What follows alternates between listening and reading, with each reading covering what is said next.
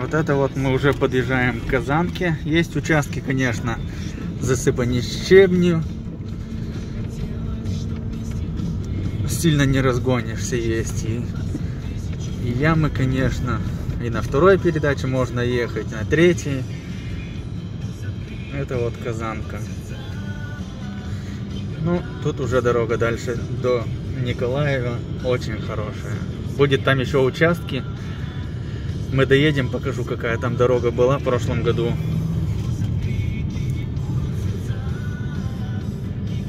Было такое, что машина заезжала, ямы такие, чтобы были видны только стекла. Покажу, где этот участок был и что сейчас там. Это уже Казанка. Сейчас мы будем уходить налево на Николаев.